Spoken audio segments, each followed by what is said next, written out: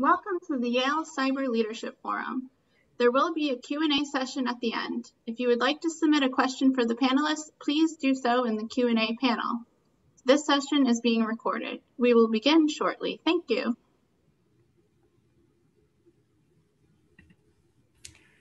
Good afternoon, everyone, and welcome virtually to Yale University's Jackson Institute for Global Affairs. I'm Ted Wittenstein, and this is session number three of the Yale Cyber Leadership Forum, Defending Forward, Implications for Safety, Security, and Sovereignty in Cyberspace. We'll introduce our terrific panelists in just a moment. As a reminder, all attendees have their volume and video muted, but we're eager to incorporate your questions. You can submit those using the Q&A feature in Zoom. And as mentioned, we'll record the session and distribute and post the video afterwards for the benefit of everyone.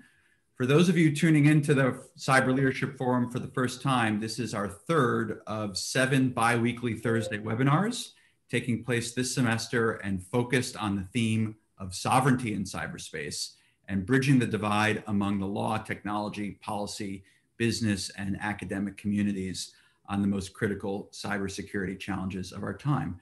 Professor Oona Hathaway is our forum director and our partner since we first launched the forum in 2017 a widely recognized authority on transnational and national security law. She's the Gerard and Bernice Latrobe Smith Professor of International Law, Director of Yale Law School's Center for Global Legal Challenges, a faculty member at the Jackson Institute, among many other senior leadership roles across the university. And we also have a great group of Jackson Institute and Yale Law School students who are part of the forum for class, interacting with the panelists and our practitioner fellows and writing reaction papers based on the sessions.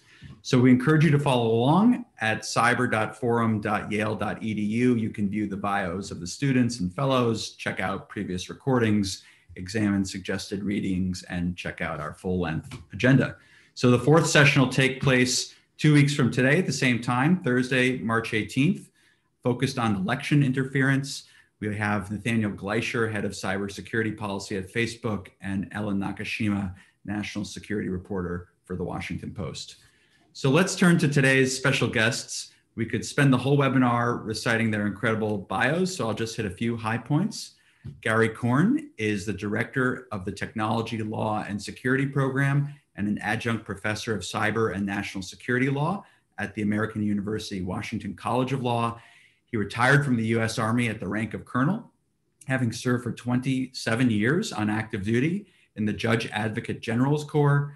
That extraordinary service culminated in five years as the staff judge advocate to US Cyber Command, where he was deeply involved in the full range of legal challenges impacting the evolution of US Cyber Command strategy, organization, and operations. And prior to that, served as deputy legal counsel to the chairman of the Joint Chiefs of Staff, among a number of other senior roles at the nexus between defense strategy, military operations, and law. Suzanne Spaulding is Senior Advisor for Homeland Security and Director of the Defending Democratic Institutions Project at the Center for Strategic and International Studies. She also serves as a member of the Cyberspace Solarium Commission. Prior to joining CSIS, Ms. Spaulding served in the Obama administration as Undersecretary at the Department of Homeland Security, leading the National Protection and Programs Directorate, which has since been transformed as many of you know, into the Cybersecurity and Infrastructure Security Agency. And there she managed a $3 billion budget, a workforce of 18,000 employees charged with strengthening cybersecurity and protecting the nation's critical infrastructure. And her time at DHS followed stints in senior roles in the intelligence community and on the Hill. She's been an assistant general counsel of the CIA, general counsel of the Senate Select Committee on Intelligence, minority staff director of the House Permanent Select Committee on Intelligence, among other roles. So thank you so much, Gary and Suzanne, for being with us. Thank you, Oona, for putting all this great group together. I'll let Oona kick off the discussion and we'll help out with the Q&A once we turn to that. So remember, please submit your questions using the Q&A function in Zoom and we'll get to that later in the conversation. Thank you very much and over to you, Oona. Great. Thank you so much, Ted. Thanks uh, for um, all your hard work um, and for your great team that has made this all possible. Um, it's uh, great to have you both here with us. Um, I'm thrilled to get a chance to talk with you about our topics um, of today, Defend Forward. Um, and Gary, I wanted to start with you. So as, as Ted mentioned, you spent time at US Cyber Command before leaving government. And in that role and many others that you um, held in government, you've seen the evolution of the Department of Defense strategy on cybersecurity really change over time. Um, I wonder if you could start off just by explaining for our students and, and listeners um, exactly what it is that US Cyber Command does um, and a bit of its history and your role within Cyber Command when you were there.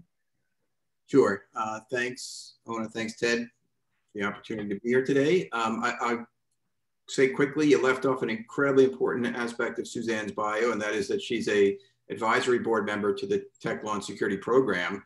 So you get a double whammy here today. So uh, thanks for that, Susan, Suzanne. Um, so Cyber Command as an entity was created in 2009. It was the merger of two other organizations that were developing and evolving in DoD to kind of grapple with the emerging issues of cyber um, as the department grappled and the nation grappled with trying to understand what this problem set really is.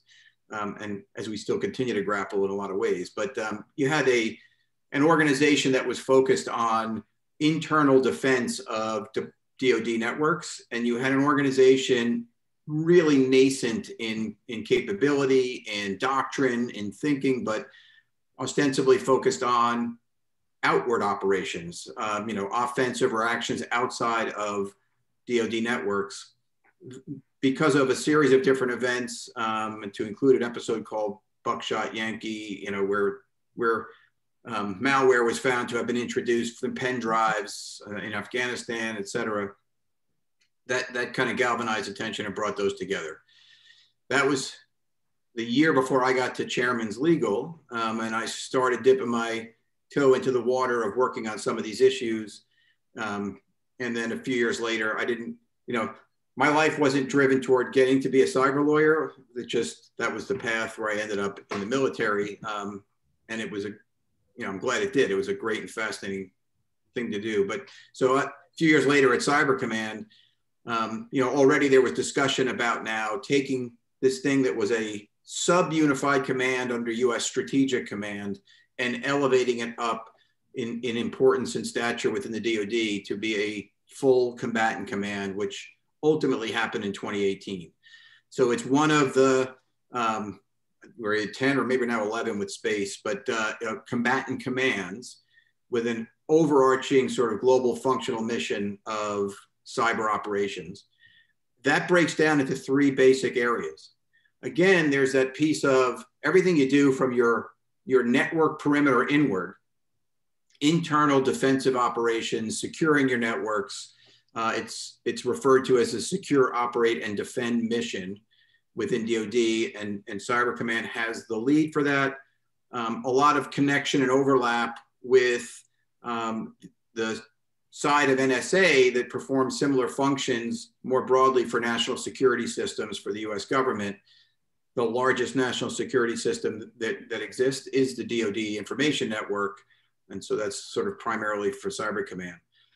On the out of network side of the house, um, you know, originally this was viewed as another warfighting capability. Develop cyber tools and capabilities to integrate in with other warfighting capabilities you have to support the geographic combatant commands in the case of actual armed conflict or war. That, that still is part of the mission that exists. It's, it's important. Um, but there's also a kind of in the middle there, a defend the nation generally. Um, and it's, it's couched as defend against significant cyber attacks or incidents. Um, that is an area where the department, I think, has been drawn further into actual active operations. This is where we can have discussions about defend forward and what that all means but a steady recognition over time that that this threat space is not one that is only going to be triggered in a time of actual warfare. Our adversaries are acting constantly, um, assertively, aggressively at times, and, and there needs to be some activity to deal with that. Um, and, and that's sort of that mission space that the command has, has been picking up more and more, um, certainly in probably the last three or four years. And with the publication of the DoD cyber strategy in 2018 that, that incorporates some of these ideas.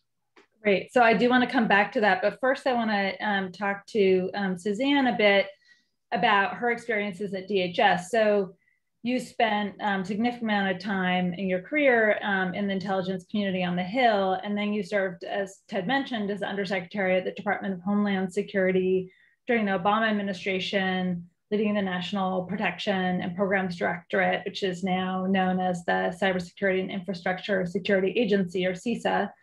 Um, can you say a bit about um, the role of DHS here and how its strategy and role in cybersecurity has changed a bit over time and maybe a bit how it um, connects to or syncs up with um, or is sometimes competitive with, to be honest, uh, DOD's uh, mission of, of addressing cybersecurity.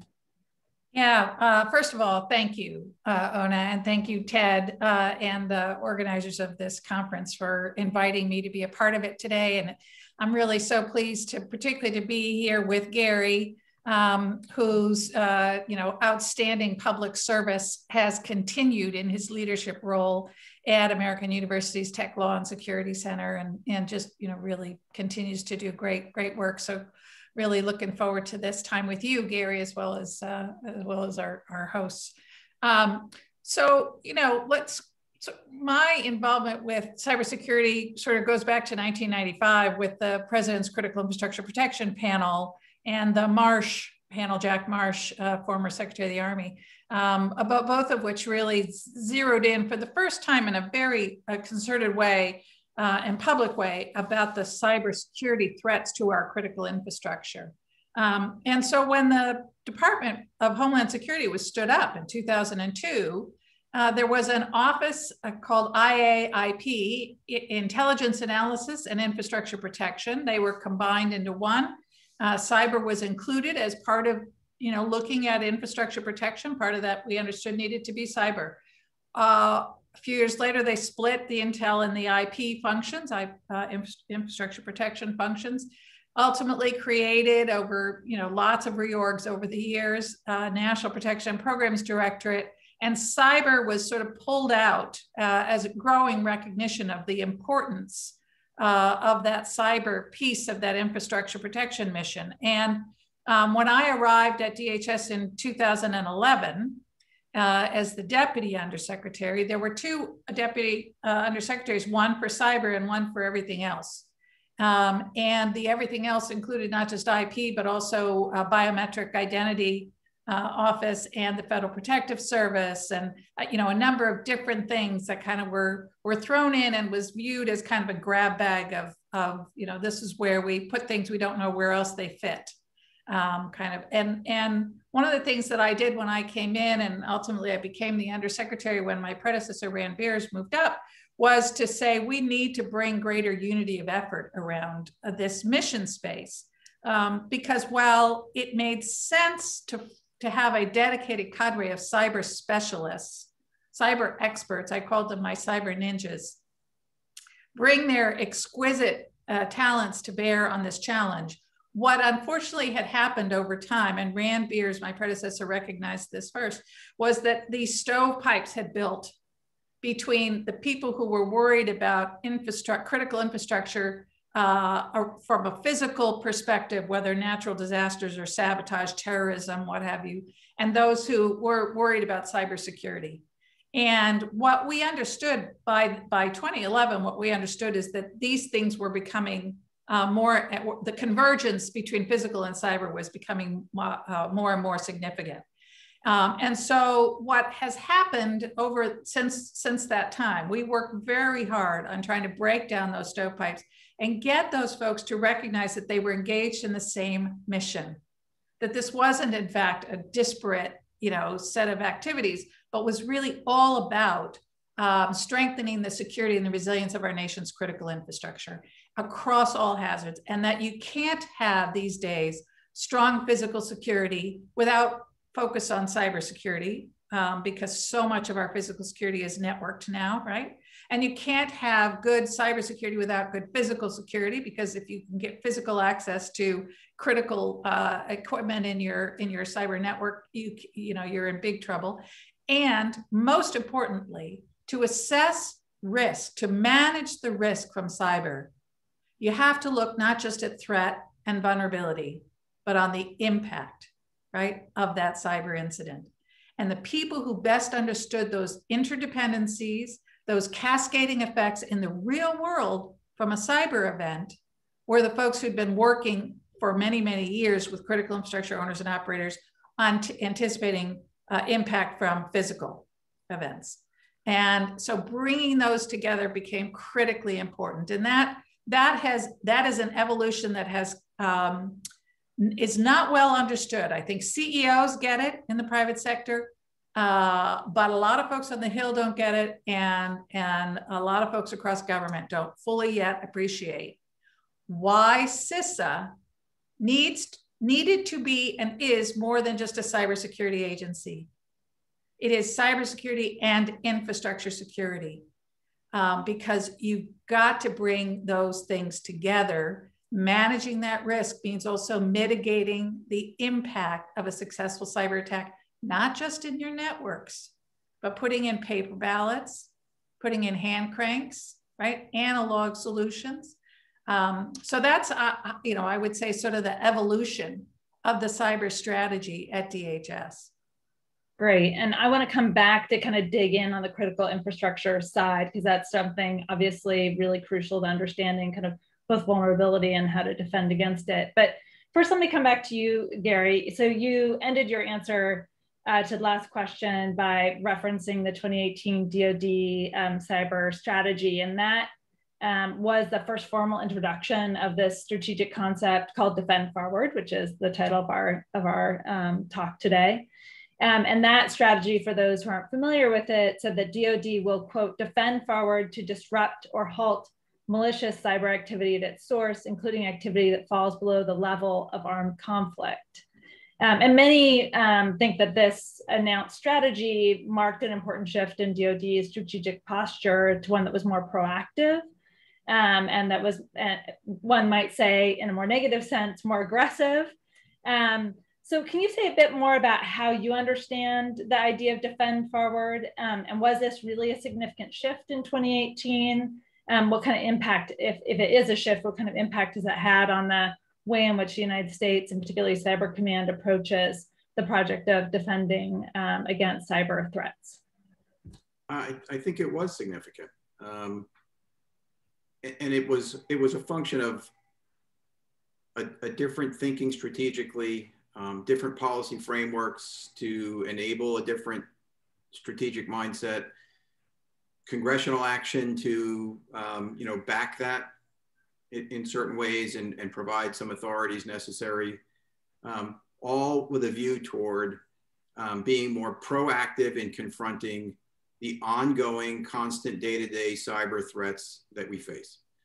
Uh, prior to that, um, you know, right, wrong, or indifferent, and there was an approach that was one that's been described more of restraint um, and with, with a hope that that would lead in some sense to um, diminishing activity in the environment through restraint and example.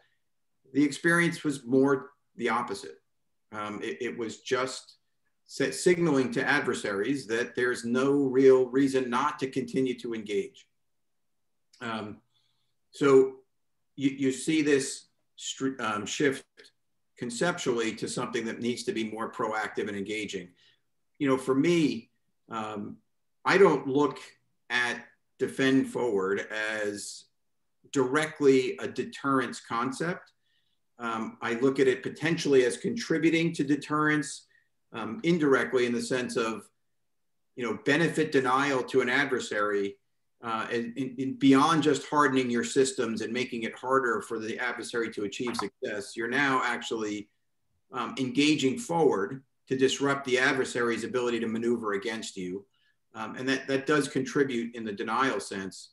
Um, but overall, you know, it's very, in my mind, similar to some other areas that we, we have seen um, where deterrence itself is hard to achieve, right? Deterrence is generally the inchoate threat of consequence uh, that is, you know, omnipresent to, to change your adversary's decision calculus and make them think two, three, four times before taking an action that you don't want them to take.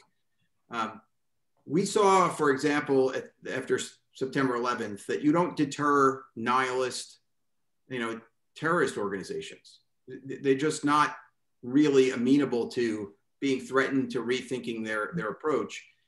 And so we kind of, we shifted to a counter terror posture where we realized we had to actually engage the adversary forward um, as part of a much broader construct, but certainly a significant part of it to disrupt the adversary's ability to plan, to bring resources together, to execute operations, to keep the adversary off balance and, and drive the tempo of the situation. Um, and I think there's this, another similar analogy. There's a reason why we have what we call counterintelligence, right? You're, you're not going to effectively deter adversaries from engaging in, in espionage activities because it's too lucrative, it's too important and valuable to them. Um, and so you have to be better at it and you have to be disruptive to their efforts. There's a lot of similarity in my mind to what we're seeing in the cyber environment. Um, this may change over time um, as, as we tweak all sorts of aspects of this, but I'd say at the moment that the um, it, it's just too lucrative for our adversaries. It's it's driving benefit for them at low risk and low cost. And so deterrence is going to be hard to achieve. Not that we shouldn't be figuring it out and pursuing it, um, you know, at the same time. But this is, at its heart for me, Defend Forward is a counter cyber uh, uh, aspect to that broader approach. So your your comparison to counterterrorism is is quite interesting. Um, and it does raise the sort of overall theme of our conference of sovereignty um, or the series of sovereignty um, because both counterterrorism and this more um, sort of aggressive uh, uh, defend forward policy on cybersecurity means going out. You're not just staying within your own networks, you're moving out to engage the, um, the threat um, outside of your own networks um, and abroad. Um, and that means um, engaging in operations uh, on the territory of another state, maybe on another state's uh, computer networks. Um, and, um, and that has raised some questions of kind of how we think about this question of sovereignty in cyberspace. As you are quite familiar, the Tallinn Manual adopts this very aggressive idea or very strong idea of, of sovereignty um, on the internet and suggests that states that violate uh, sovereignty, that actors that violate sovereignty um, of other states uh, uh, through their cyber activities could be subject to countermeasures. Um, how does that mesh with the defend forward strategy, which seems, at least on the face of it, to, to be in some tension with this idea, or at least make the United States vulnerable to, um, to countermeasures uh, if it's engaging the kinds of activities that might interfere with the sovereignty of other states. Certainly, counterterrorism activities have raised those kinds of concerns. We're dropping bombs on other countries. We have to issue Article 51 letters explaining why it's, uh, you know, within our uh, legal rights under the UN Charter, and some question whether that um, those those statements are actually accurate. So, how do we think about these concepts in cyberspace and and does this defend forward strategy because it means engaging the enemy outside of our own networks create some concerns about what the United States is, is doing abroad and, and whether it's infringing on the sovereignty of, of other states in the process. Sure. Um, just an easy question, right? in, in, the in the CT environment, the counterterrorism environment, yes, similar issues have come up. They are more they're of a different nature to, in some sense. They're more acute because you are oftentimes talking about using kinetic force inside the territory of a third party state um, and squaring that with international law and our obligations. And we know there's some who will debate, not everyone agrees, but the unwilling, unable analysis of being consistent with um, the UN Charter and jus ad bellum prohibitions on using force except in self-defense. Um, that that you know, defend forward doesn't necessarily specify the level of activity you're going to engage in. Um, I would call it more proactive. I wouldn't necessarily call it aggressive. I understand, you know, the the, the description, but um, it, it can run a spectrum, right? And there's absolutely at the same time a commitment to adherence to international legal obligations. The, the question that has arisen, um, sort of at the lower end of the spectrum of taking activities, you know, you might engage and disrupt a botnet. We had reports about a TrickBot takedown um, in the run up to the elections. Uh, if you're just engaging with infrastructure in a third party territory um, to essentially deactivate or put to sleep um, malware that's running as part of a botnet, does that implicate an international legal obligation not to do that unless you have a justification or consent?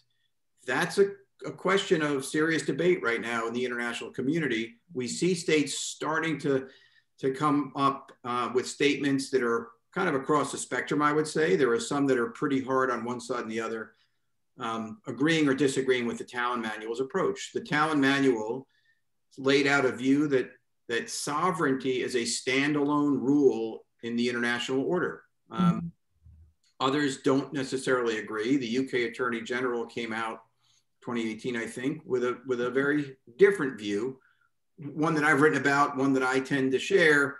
Um, that sovereignty is a organizing principle and concept in the international order, but you have to look to see where states have actually, based on protecting sovereignty, agreed to, to more firm rules.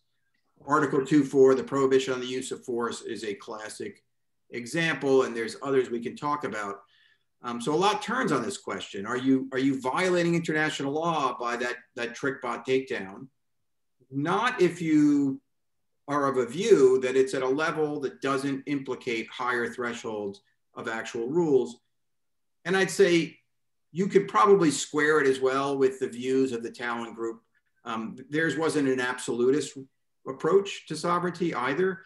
Um, you know, there's even within the rule, they couldn't agree to what the thresholds would be, but they agreed that there are some thresholds under which your operation still would not breach this, this uh, putative rule.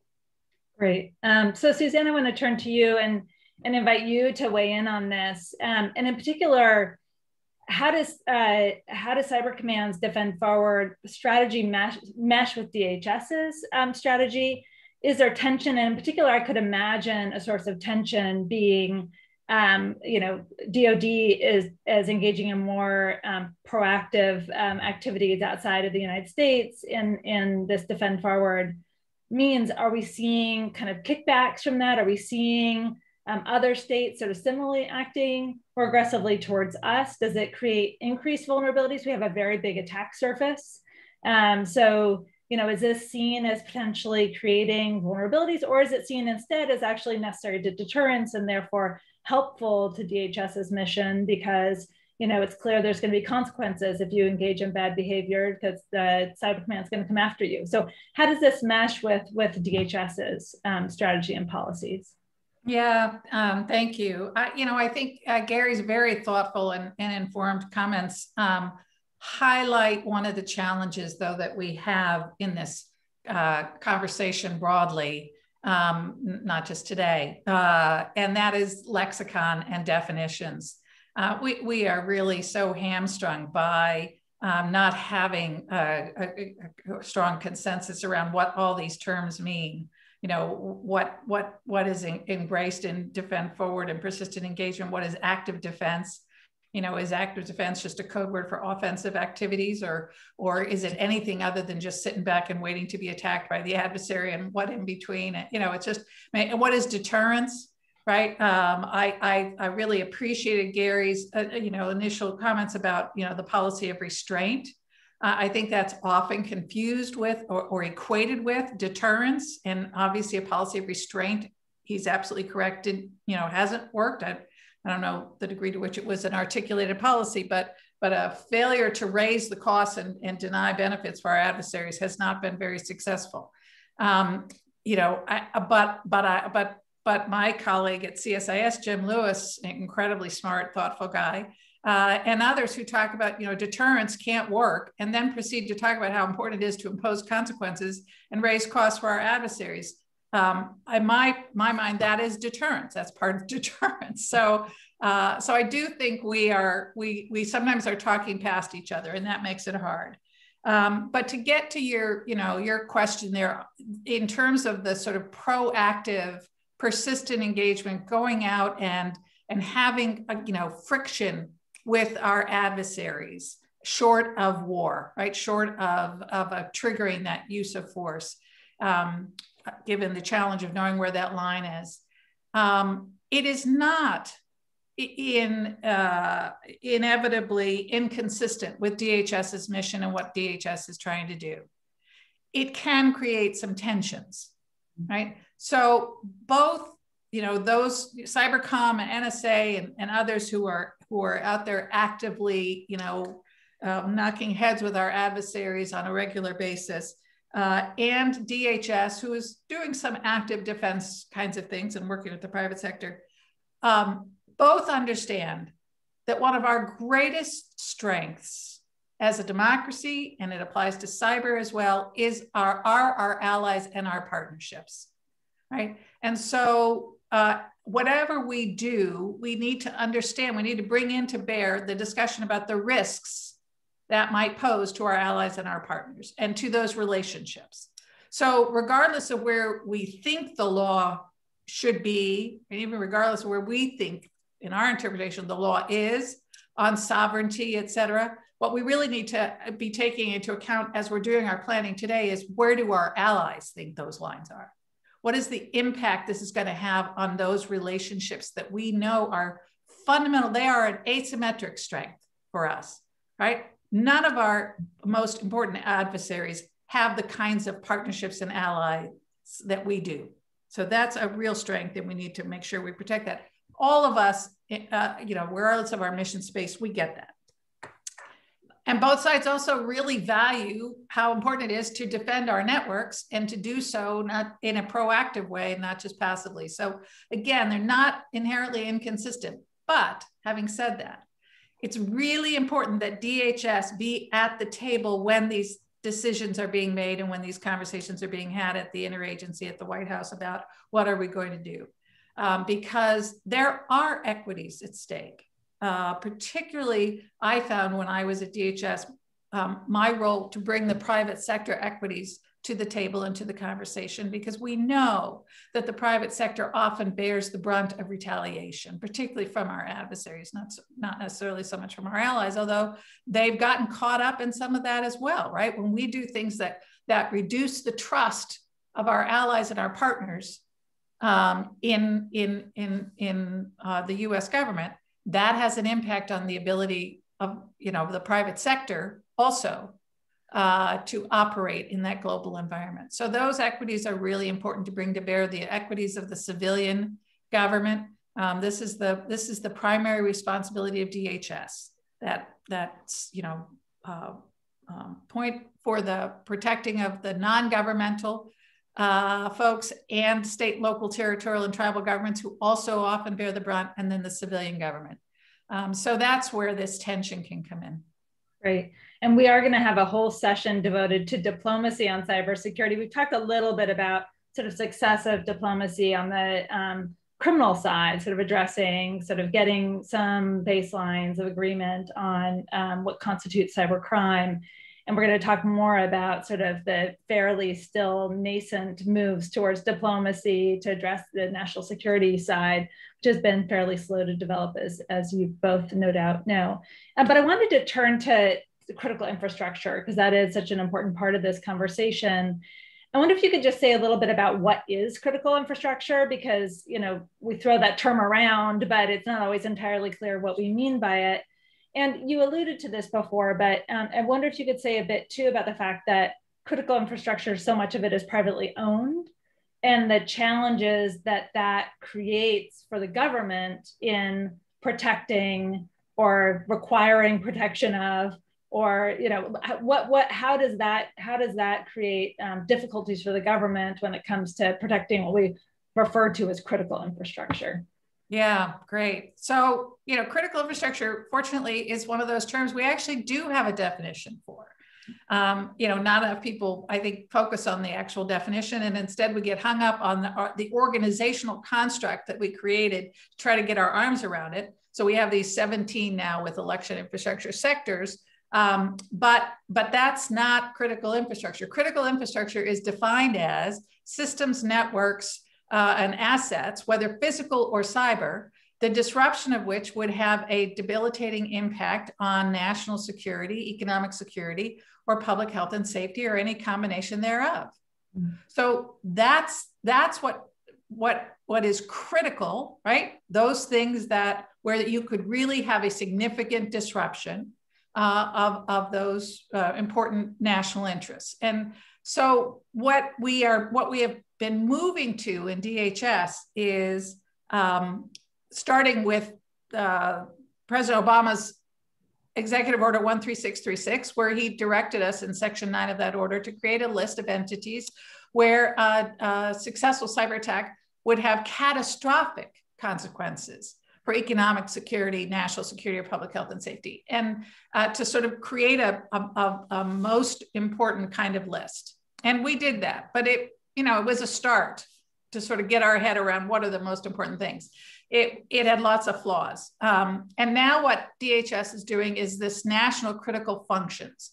So the National Risk Management Center at DHS is looking at what are the most critical functions. This is about functionality, right? What are the most important functions um, that Americans depend upon and that are, you know, uh, you know, most important for our national security, economic security, and public health and safety. And in mapping those functions, right, then where are the key nodes? Where are the key places? And so that's really important work. It's very nascent. Um, it's very complicated. It's very difficult, but it's the direction we have to go in. And it's again based on the impact of a successful cyber attack.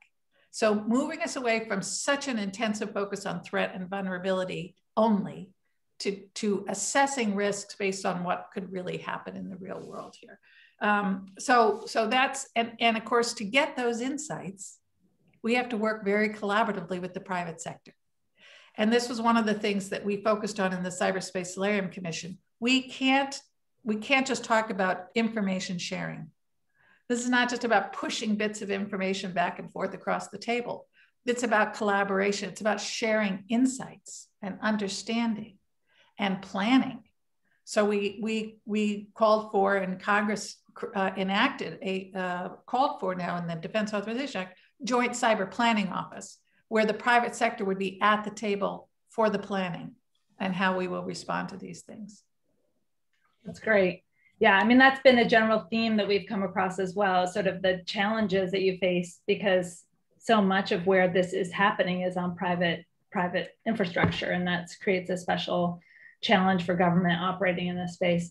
So I want to turn, um, Gary, to a term that's come up a few times. Um, that is this idea of persistent engagement. Um, so we've seen this idea, you know, so we've, we've, we've discussed uh, Defend Forward. We've also sort of mentioned this idea of persistent engagement, which we've heard um, in particular from General Nakasone who's the NSA director and commander of US Cyber Command. He's a strong proponent of this idea. How, how do these concepts of defend forward and persistent engagement work together? Um, do they overlap? Are they just sort of different ways of saying the same thing? You know, what what is what is this idea of, of persistently engaging our enemy? I will give you my take, um, an educated take, but also acknowledging that there have there's not been necessarily consistent voice coming out of the department when talking about this, mm. um, which creates its own challenges. I, they're, they're not the same. They're not synonymous. Um, th there is some overlap. Uh, if I had to distill it down, I, I would say, you know, the, the, the, notion of persistent engagement appears in um, a, a 2018 document produced by the command as the commander's vision, right? This to me is is laying down a commander's philosophy about how we are going to approach the problem overall, which is one of not reaction, not intermittent response, but proaction and consistent proaction. Um, and General Nakasone has been consistent in explaining this is not just about consistency or proact proactivity in conducting out of network operations. Defend forward is a piece of a larger of a larger pie. It's also persistence and innovation.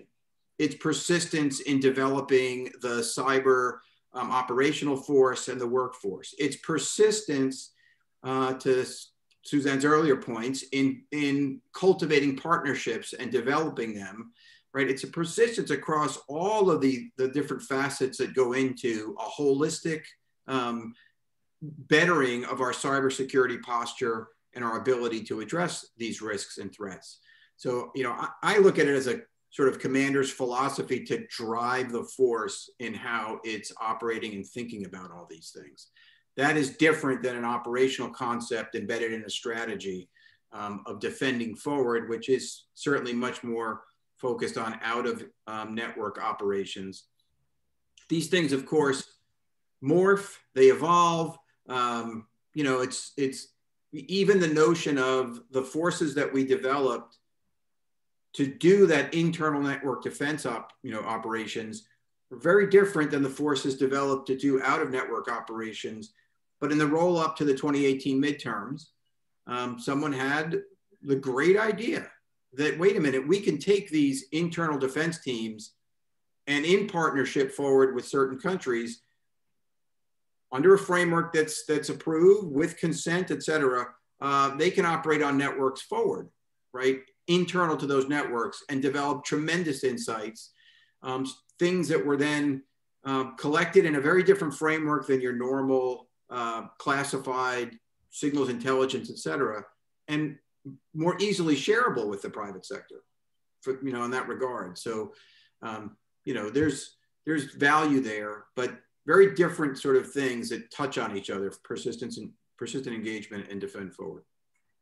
Um, I want to jump ahead um, to um, uh, talk a little bit about um, whether defend forward. You know, one critique that you sometimes hear about defend forward is that it places a lot of emphasis on on offense, perhaps at the at the cost of defense. Um, uh, you all, um, I'm sure, are very aware of this recent SolarWinds hack, which opened up a secret backdoor to uh, somewhere around 18,000 infected networks. Um, um, and has been uh, decried as really one of the most sophisticated operations um, that we've uh, seen and, and not only led to infiltration of lots of private businesses, but also US government networks.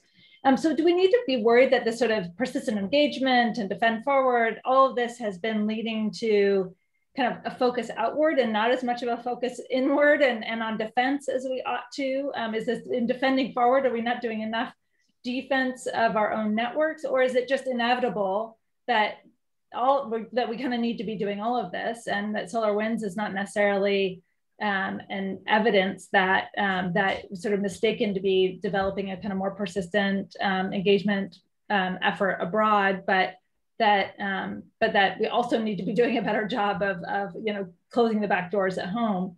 Um, so how do we how do we um, think about that? And is that a critique you think is fair, or would you push back against it? I'd push back against it, and I'd I'd push back against it pretty hard. I, am not going to say that there isn't tension at times. Um, you know, just as there's the need to synchronize as best we can the DHS portion of this problem set with the DoD, with the the FBI and DOJ, et cetera. Um, even internal to DoD operations, there's always a question of analyzing intel gain loss, for example. If, if you're going to conduct an operation, how does that impact your ability to continue to collect information that may be generating valuable insight?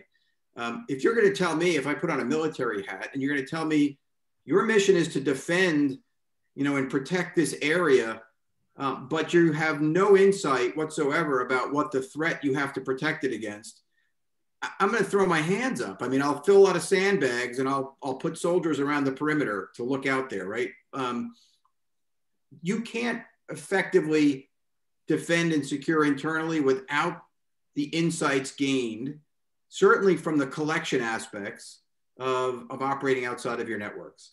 So, you know, part of this is I think there's often, again, back to the lack of clarity or consistency in terminology There are people who will describe signals intelligence operations as offense, right? You're, you're prioritizing offense over defense. Uh, th that's that's very different, and it's wrong, but it's different than um, you know network operations to be um, having disruptive effect forward outside of your networks. That all has to be synchronized. There's no doubt. Um, there are trade-offs no matter what you do. There are risks that are involved in inaction. There are risks involved in action. You want to make sure you get everybody to the table to understand how these things will play out. Um, and so that you're planning for all the contingencies and weighing and balancing what's the right activity, you know, action at any given moment. Um, I, I just don't see that tension in the same way. And the other piece I'll say, certainly within the department, when I got to Cyber Command, the, the focus was massively on the internal securing and defending of the network. That hasn't stopped. That continues to be a major portion of the mission set, um, as is true within. You know, I watched this from from the side seats, but we were obviously my boss was the director of the NSA as well. Um, the the dual mission of the NSA of information assurance and, and, and network security um, and the signals intelligence mission. And those, those, there's a feedback loop there. You, you can't really separate one from the other. Um, everyone's always going to kind of, I think, depending on where you sit, where priorities might look like they're falling at a given moment, priorities equals resources, resource equals the ability to do things. Um, there's, there's going to be always some frustration there, but I don't see that, that argument really holding a lot of water. So Suzanne, I want to turn to you on this on this question too, because um, of course, DHS, um, uh, is, one of its central roles is this threat hunting, sometimes referred to as threat hunting. Um, and um, the recent um, NDAA, the National Defense Authorization Act, gave um, CISA uh, expanded threat hunting powers on US government networks. So gave it greater authority to be able to go looking for these kinds of problems. Um, and, um, you know, how, what, what role is DHS playing here? Um, maybe you could say a bit more about what gap this was meant to fill in cyber defense.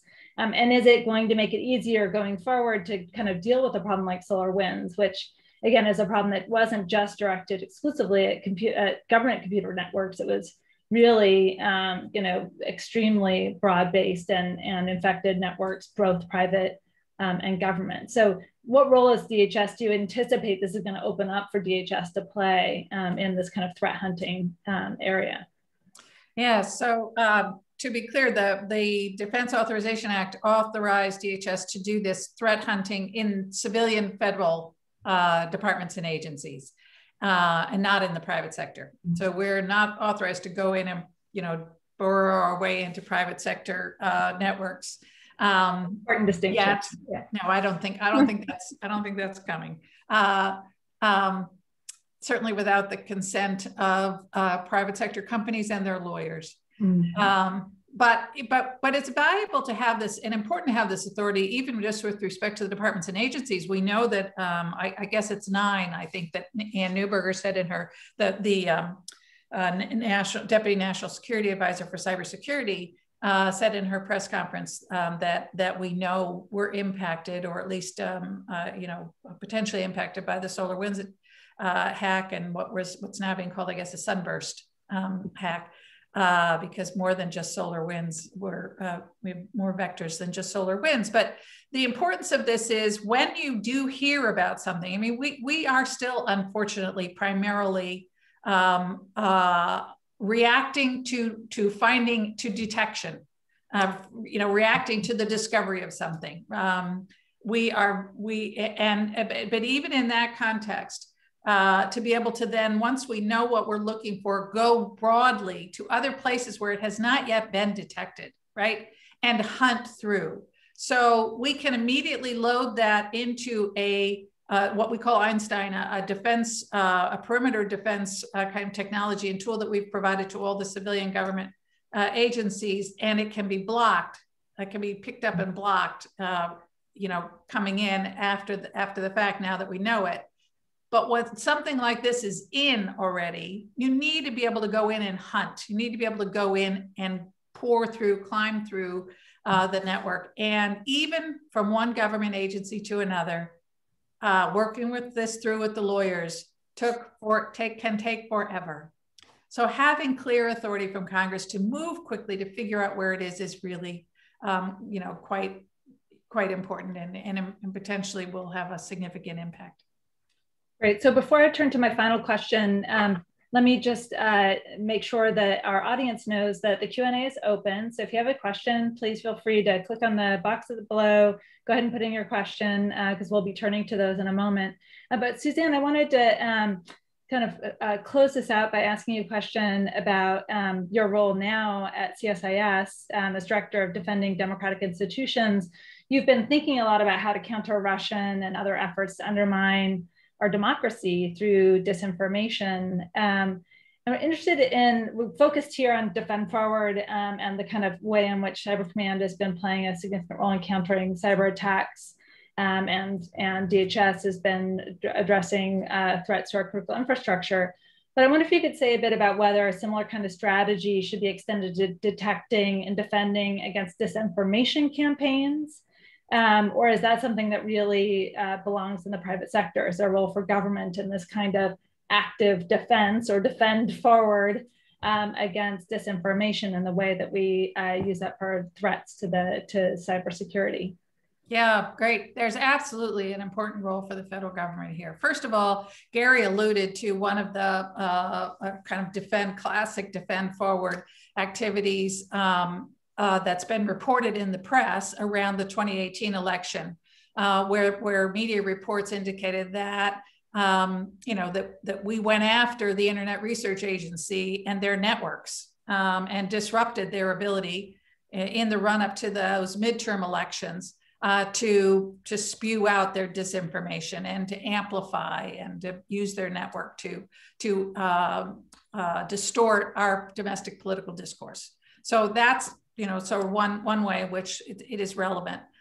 I think of defend forward in another way in this context, and that is proactively leaning forward uh, to counter the impact. Again i'm you know as you see i'm big on on looking at the impact. What is our adversary's objective? Our adversary's objective um, i don't think even they think necessarily i don't that, that they're going to change the outcome of an election um, but they certainly have a, a very good opportunity, and we've seen this, to undermine the public's trust in the legitimacy of that election, right?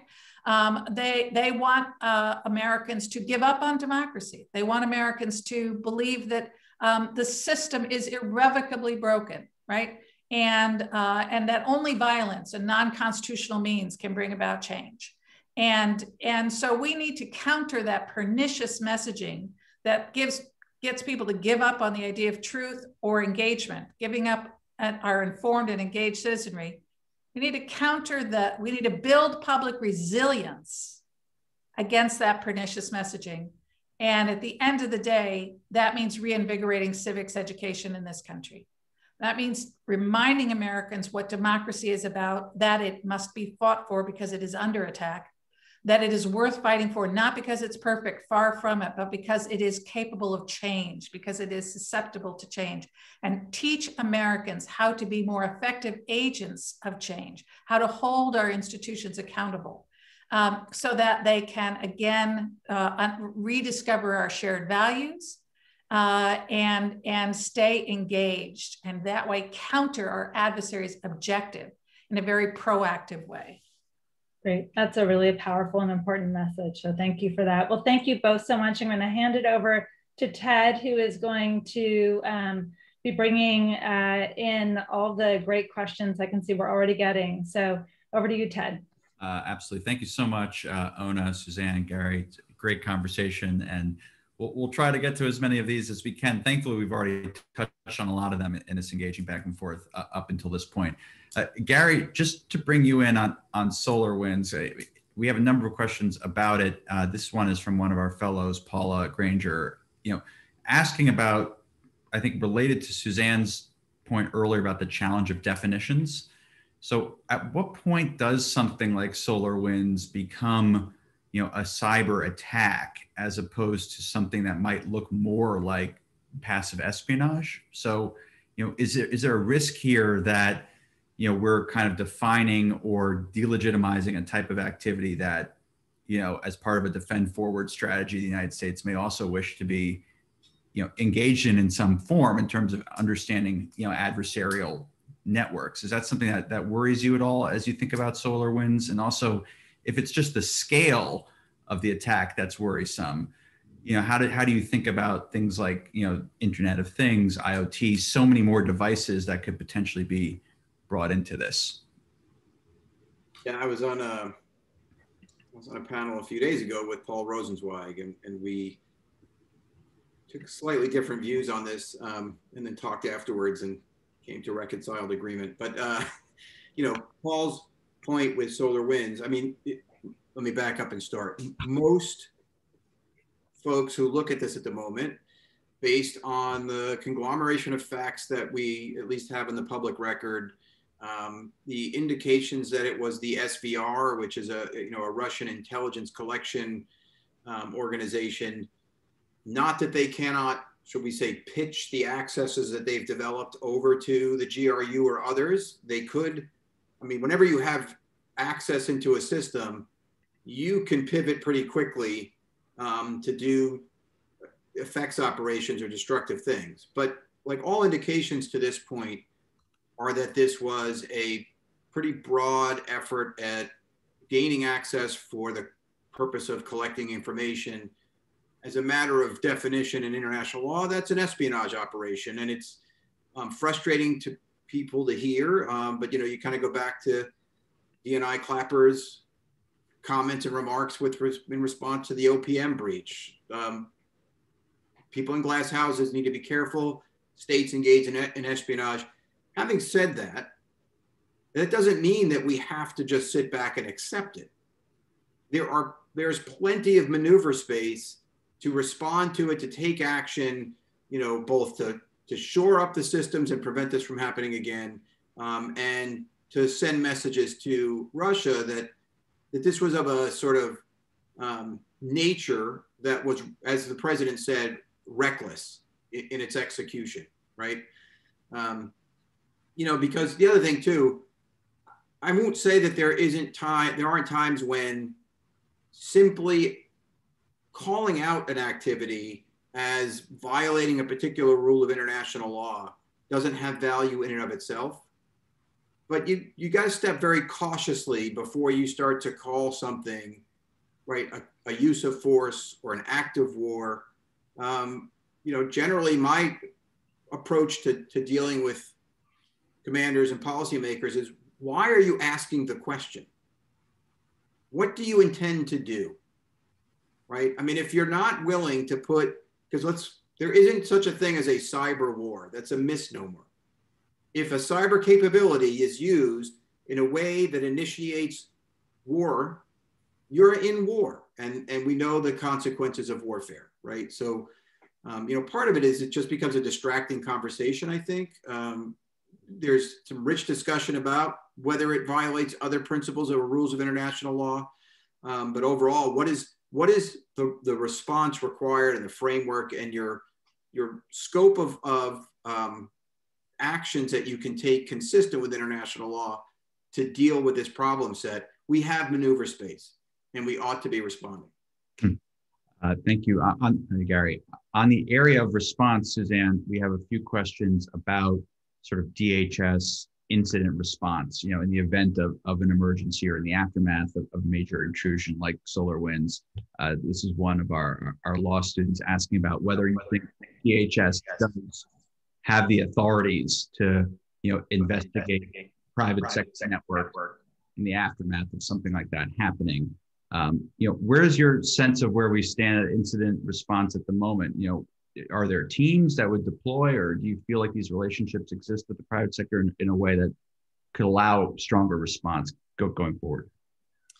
Yeah, so again, we don't have any sort of blanket authority that allows us to go in uh, to private sector and get on private sector networks. We we operate at DHS, um, and I continue to say we as if I was still there, but at DHS they operate uh, very much on a voluntary basis with the private sector. And one of the things that we try to do is to is particularly with respect to significant aspects of critical infrastructure to to have uh, understandings in place to negotiate with their general counsels, uh, some understandings ahead of time uh, of what we would do should there be a significant incident. How far could we go, and you know what what would be off limits? Mostly, what our folks would do, if invited in, is to stand next to somebody in the company who is on the keyboard and in their network, um, and kind of over their shoulder, kind of help them uh, look to see what, you know, to do that kind of hunting, for example, um, and make recommendations for how to mitigate, how to get the adversary out, how to rebuild um, more securely for the next time.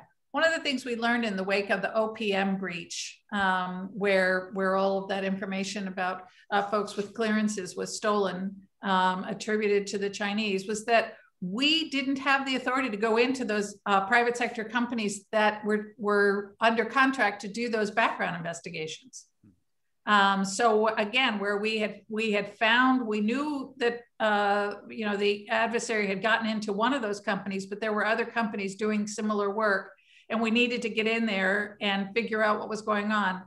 Um, we have now, uh, you know, gotten smarter, I think, in the federal government about contract terms that give authority, contract by contract, um, to if there's an incident, it needs to be reported. Uh, if we detect something and think there's an incident, you know, what are our authorities and, and ability to get in and figure out what's going on? We need to get better at that. And we need to, again, we need to have those understandings ideally in place ahead of time because time is really important when you're responding to an incident. Uh, thank you for that. Uh, Gary, your comments about sort of parallels between Defend Forward and counterintelligence and counterterrorism uh, evoked a lot number of questions. One is from a, a YLS alum, uh, Chimène Keitner, asking about this question of, you know, can we establish norms that are below the armed attack threshold? So, is there a risk here in being too clear about what sort of below threshold attacks would evoke response? Or instead, are you seeing here a need to, to be more more clear as you think about where Cyber Command is now? Yeah, it's a great question. It's um, there's no single response necessarily. You know, on the one hand, I I'm a believer in international law. I'm a believer that we have an obligation to adhere to international law. Um, but I also don't necessarily see international law as the major deterrent force that others may argue, right? I don't, joking about this the other day with somebody, I don't anticipate, I can't say specifically, but that there are sort of Gary counterparts in the military organizations conducting offensive cyber operations in Russia or, or China. Um, yeah, I'm not yeah, sure what the echoes there. there. but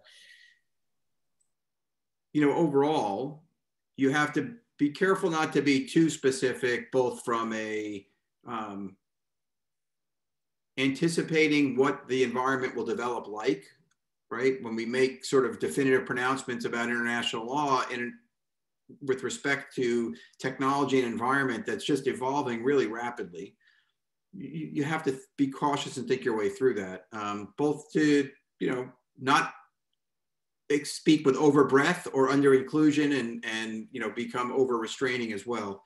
Um, having said all that, I do think that there's a reason why we haven't seen too many activities that are would would clearly sort of cross that use of force threshold.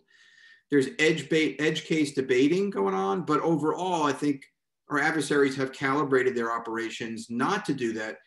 I don't think they've done that because of some fealty to international law.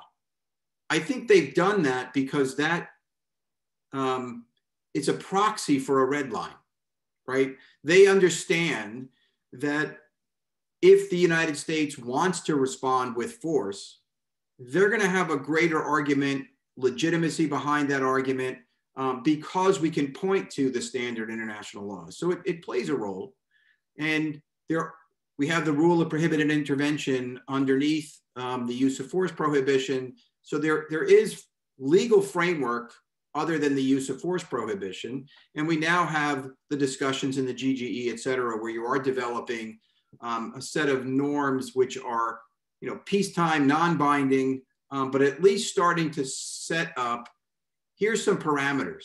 Um, and yeah, I mean, you also have to, in setting your red lines and, and talking about how you're going to conduct your defend forward and all these other things, ensure that you're not speaking out of, you know, two sides of the equation um, and that you are acting consistent with the normative structure that you're trying to evolve and develop, especially with partners um, that, that share the same values that you do in approaching this problem set. Uh, thank you, Gary. I think we figured out the echo issue there, which is that all of us will mute ourselves when the other one isn't isn't talking. Uh, but uh, maybe just to go to you, Suzanne, we have a few questions about defending forward or building resilience in other countries. You, have spoken about you know working with partners and allies. I realize this is outside of how DHS may think about this in terms of inwardly looking with private sector uh, interface, but you've of course thought about this question in a much broader lens, given some of your other roles. You know, is there a role here for sort of building resilience with allies as, as well as you think about the norm question as well as the need for sort of broader cyber defense given all of our mutual vulnerabilities? Uh, without question. And um, again, this goes to the point that I made about our asymmetric source of strength, which is uh, these strong partnerships and alliances. Uh, I that we absolutely need to build that capacity to to act jointly, and I would point uh, to the uh, takedown of the Emotet uh, bot, uh, for example, as a you know a great example of um, you know that was the Netherlands had a very key role in that. Uh, but so did so did our government and so did the private sector. I initially thought it was a wonderful example of public-private coordination. Turns out maybe not quite as well coordinated as it might have been, I think. Um, but but but points the way. Uh, both both were operating here, and I think um, and I think it's an indication of how we are learning uh, between the initial TrickBot uh, net takedown uh, some months earlier and this one, we learned a lot about how to make it more lasting, uh, getting to the back offices and that kind of thing, and, and the, the back infrastructure. So I do think that's important. And, and we did at DHS in terms of building uh, resilience and capacity uh, our CERT to CERT relationships were some of the most important was some of the most important work that we did at DHS. And CERT is the computer emergency re readiness or response teams, um, the the kind of operational team uh, at DHS, and and we were have been very instrumental over years in helping to build similar teams all around the world. And they are the technical operational folks, and they um, are developed have developed these strong relationships and understandings and uh, and so that's a really important uh, aspect for our national interest for defending our networks but also for the global ecosystem in which we operate hmm. uh, thank you so much, uh, for, that. for that so um, we have five minutes remaining. We'll, we'll try to get to uh, as many of these um, as we can. Uh, just going back to you, Gary, we have uh, one of our law students acting about, asking about the development of offensive cyber capabilities. And of course, you know, we can't always talk that publicly about this, but are you concerned that, you know, sort of prior restraint has led to the United States to potentially be behind in, in offensive abilities, you know, relative to adversaries? Or, and if so, you know, how do you think about sort of future investment in these tools while at the same time emphasizing defense and, and norm building at the same time? Uh, is there a tension there in, in your view? Um, I don't, I wouldn't not necessarily like the, the, the best person to ask if we are ahead or behind. And that takes a lot of insight into, you know, the adversary's capabilities, et cetera. I, I think um, I'm pretty comfortable from my experiences with um, the US's capabilities and advantage. There's a difference between the capabilities you have and the risk tolerance you have in employing those and the types of activities you're willing to engage in. Um, and we see our adversaries becoming, again, more, having much greater risk tolerance, certainly more from, I'd say, Russia, China, a little bit different, although, you know, we've got reports now coming out that they're taking cues from Russia and using India as a training ground um, and potentially having turned out the lights in Mumbai um, in dealing with the border skirmishes they've got going on.